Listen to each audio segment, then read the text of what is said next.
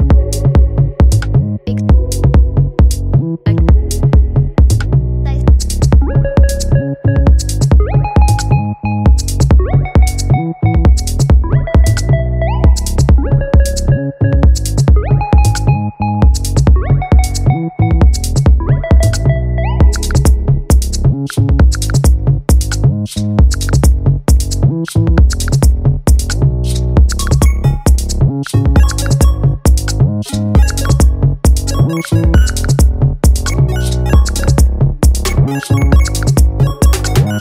you.